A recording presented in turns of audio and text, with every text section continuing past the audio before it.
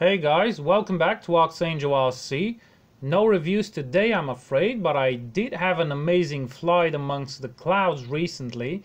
There is one problem though. I wanted to test a new 4K camera, but for some reason decided to put it on the gimbal in place of the Firefly 6S rather than mount it somewhere else on the plane. The problem with that was me not having an FPV cable for the new one and so was not able to power it during the flight and I certainly did not consider the fact that the battery will freeze up there and hence the camera only recorded 21 minutes of the 45 minute flight and of course didn't record the best parts of the flight.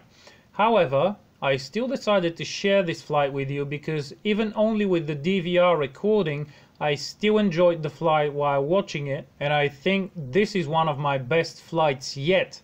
The clouds were low, wind was relatively calm it was a perfect day and I'm really getting sick of messing up such perfect flights on technicalities, so we'll have to be more careful in the future.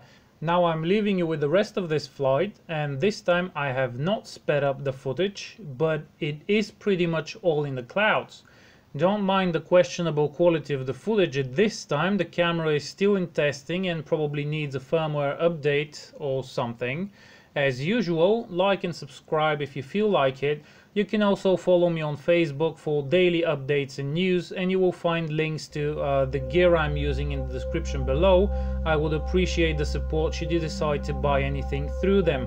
If possible, enjoy the part of the flight that is from the DVR and I will see you next time.